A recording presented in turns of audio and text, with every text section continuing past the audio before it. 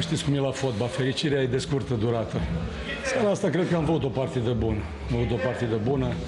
Sigur, băieții, pentru că până la urmă ei sunt uh, actorii din teren, artizanii acestei victorii, uh, în primul rând au avut o atitudine exemplară. Sigur că au fost câteva mișcări pe care am reușit să le facem și ei le-au înțeles, dar v-am spus, când pierdem, pierdem împreună, când câștigăm, câștigăm împreună, nu câștigă unul sau altul. Cu toții au fost astăzi minunați, am reușit să facem un joc solid, așa cum am, cum am mai făcut și altă dată. Sigur am întâlnit un rapid care în prima repriză au fost destul de circumspecți. Am riscat la pauză schimbând sistemul de joc, după care în a doua repriză sigur că am avut și șansă, pentru că fără șansă nu poți să câștigi jocurile. Au fost multe mici prin care eu nostru care s-au plimbat acolo și ne-au dat emoții, dar uh, e bine că cum nu s-a întâmplat la alte jocuri, jucătorii care au venit de pe bancă uh, și-au adus contribuția la aceste trei puncte uriașe pe care era nevoie să le luăm și sper să ne dea moral uh, în continuare. Și față de alte jocuri ce am remarcat, eu personal nu v-ați retras, ați încercat să... La niciun joc nu ne-am retras. A, ați ținut rapidul sub presiune? La mine, în ADN-ul meu nu există să mă retrag, dar sigur, de multe ori adversarul te forțează. Adversarul te forțează, nu reușim de fiecare dată să fim la fel de coerenți sau poate la fel de convingători uh, cu băieții să încerce să, să țină echipa sus. Și astăzi, de multe ori am strigat foarte mult, nu se aude în vacarmul tribunelor, dar uh, e bine că am găsit energia necesară să să facem acțiuni de atac, să marcăm gol și după aia să nu ne retragem și să mergem în față. Cât de mult va lipsi Roman până acum? Că iată, a intrat pe teren și în câteva Vedeți de fiecare dată un jucător când uh, lipsește, automat când rezultatul nu iese, se observă. Dacă el revine pe teren și marchează, e clar că răspunsul l-a dat uh, Roman.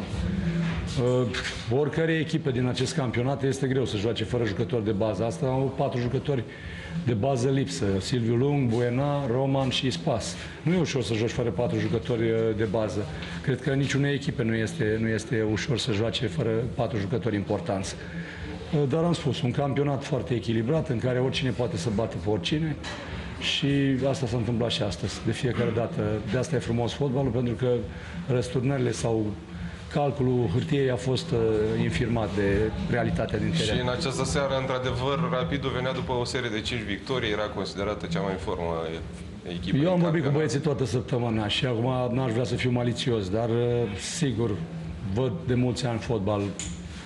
În pedigriul Rapidului există asemenea momente când toate lucrurile funcționează mai se împiedică și ei câteodată. Și astăzi a fost momentul să se împiedice și mă bucur că am fost noi cei care am reușit să câștigăm. O săptămână dificilă cu deplasare la Da, Craiova, foarte dificilă, nu? sigur. Dacă tot ați adus aminte, este din nou o programare nefericită, iarăși am fost puși cu spatele la zid, pentru că, vă dați seama, jucăm astăzi, peste două zile jucăm din nou la Craiova, cea mai lungă deplasare din acest campionat. La alte două zile venim, venim din nou și jucăm cu Dinamo un program infernal. Sigur, mai avem și problemele astea de lot pe care le avem. Sperăm să reușim să, să rămânem uh, motivați, cu picioarele pe pământ, echilibrați și să aliniem uh, și la Craiova și acasă cu Dinamo uh, formule de echipă care să, să poată să facă față jocului. Un arbitraj bun astăzi, nu? Impecabil din punctul meu de vedere, un arbitraj impecabil. Sigur, nu au fost faze litigioase sau faze grele, n-am apucat să le revăd, dar nu cred că a fost nici, nici de o parte, nici de cealaltă. Nu cred că există ceva de, de reproșat arbitrajului. Nu cu atât mai puțin, pentru că am câștigat jocul, dar n-au fost faze care să incrimineze, știu eu, deciziile de arbitraj de data asta.